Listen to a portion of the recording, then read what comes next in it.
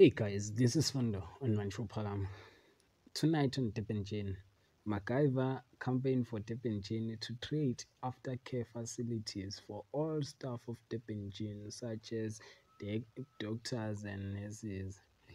He need aftercare because his son, 007, his campaign is with his son and Gumede have doubts of campaign. He said that 007 is all that to be on aftercare.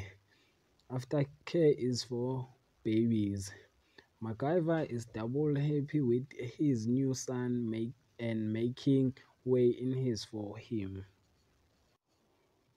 Zondo decide to help Ngobo making sure he walk free from the case. Precious and Zandile are uh, on the race to see who gets to a walk away with a happy family. That is for tonight. Thanks for watching. Don't forget to like and subscribe and comment. Therefore thanks